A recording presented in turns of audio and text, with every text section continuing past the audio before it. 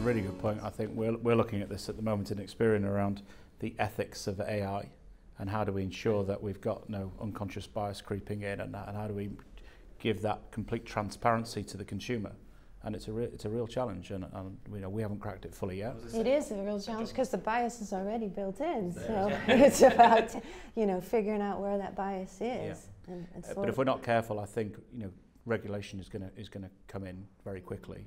Certainly with the you know the massive explosion of Internet of Things in the next five years with 5G coming into our space.